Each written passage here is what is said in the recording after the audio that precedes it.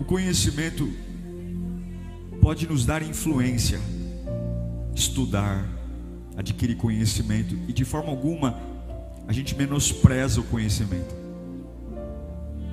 Mas o que impacta não é o conhecimento, o que impacta é a experiência. A gente pode conhecer muito sobre Deus, e esse conhecimento de Deus nos leva a falar dele, a mudar nossos hábitos, mas o que de fato explode a alma, o que arrebata o coração, o que nos faz ter certeza de que estamos no caminho certo, não é o quanto de conhecimento a gente adquiriu, mas é a experiência. É a experiência que pulsa a alma. É a experiência que, como diz João, a unção começa a ensinar todas as coisas. É um fluir de uma vida, é o fluir de um pensamento, é o fluir de uma fé que não se empurra, não dói. Alguns ficam lutando para tentar forçar algo que nunca deveria ser forçado. É fluir, fluir, fluir de uma vida, é fechar os olhos. A gente nunca deveria dizer, eu não consigo orar, até porque a oração não deveria ser algo que eu produzo, deveria ser algo natural. E eu sei que todos nós que estamos aqui, você que está em casa, a gente quer ter uma experiência com Deus. A gente precisa ter uma experiência com Deus. A gente precisa conhecer Deus além das páginas da Bíblia. A gente precisa, mas a gente tem que abrir a porta. Quando eu falo ter uma experiência com Deus, não é ficar gritando, aleluia, glória. Isso faz parte. Mas a experiência é eu ter a certeza, eu realmente estou convidando Jesus para entrar aqui eu realmente estou desejando Ele. Ele é bem-vindo aqui dentro. Eu estou interessado nele, na presença dEle.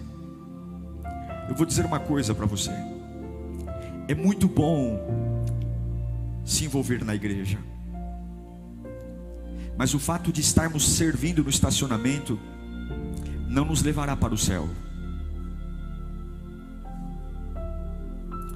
O fato de eu estar aqui na frente pregando o Evangelho não me levará para o céu.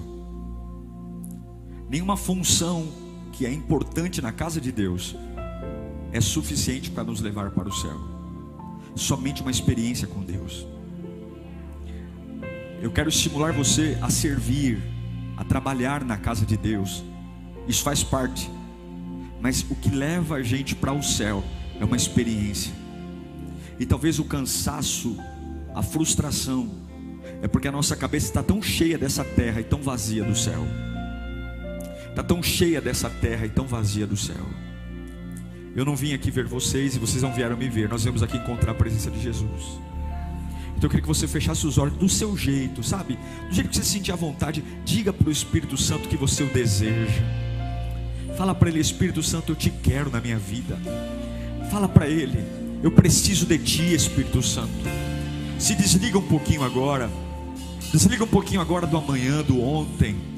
Tem esse momento com Deus. Fecha os seus olhos. Não é porque com o olho fechado é mais poderoso, não. É para você não distrair.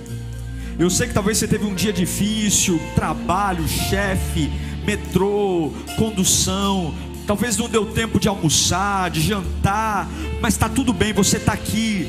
Talvez você está em casa e tua casa não está fácil é uma brigaiada, é uma confusão dos infernos, mas agora não é o inferno, agora você vai mostrar ah, para o teu Deus que você o deseja, que você precisa dele. Oh, meu querido irmão, agora é hora de mostrar fome, mostrar o desejo, agora é hora de romper, dizer: Satanás, você perdeu, porque a minha fome por Deus é maior do que a minha dor, a minha fome com Deus é maior que a minha decepção, a minha fome por Deus é maior que as minhas lutas, a minha fome por Deus é maior que a minha dívida 드립니다. 아멘. A minha fome por Deus é maior que o diagnóstico médico. A minha fome por Deus é maior que o cansaço do meu corpo. A minha fome por Deus é maior que a minha dor de cabeça. A minha fome por Deus é maior que meus problemas familiares. A minha fome por Deus é maior que a minha ansiedade. Tem que ser maior. Se não for maior, meu irmão, se vira, mas aumenta a tua fome agora. Se não for maior, dá seus pulos, mas aumenta a tua fome agora. A única forma de você sobreviver a tudo que vem contra você é a fome. Se não tiver o Senhor, se não agir de Deus, meu querido irmão, nada que venha contra nós a gente vence. Se não for o Senhor, nós estamos perdidos. Se não for o Senhor a única fonte, o diabo nos atropela.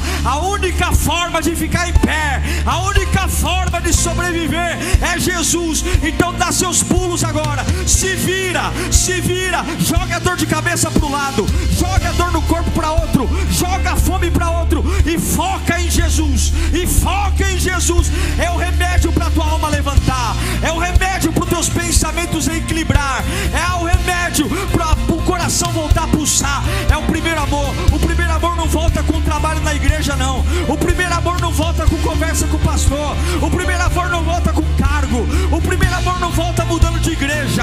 O primeiro amor volta com Jesus. Se você tiver Jesus, você tem primeiro amor na fornalha. Você tem primeiro amor na cova. Se você tem Jesus, você tem o primeiro amor até no meio dos vales de ossos secos. Onde canta lavafá? Vai buscando Ele, vai chamando, eu quero Jesus. Eu quero Jesus, eu não sei o que você quer, mas eu quero, eu quero, eu quero essa presença. Vem Espírito Santo, vem Espírito Santo, o teu povo te deseja. Vem Espírito Santo, o teu povo te deseja.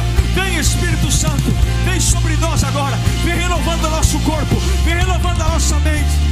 Vai buscando, vai buscando, vai buscando. Você que está em casa, vai buscando renovo, vai falando em mistérios com Deus. Nós somos pentecostais.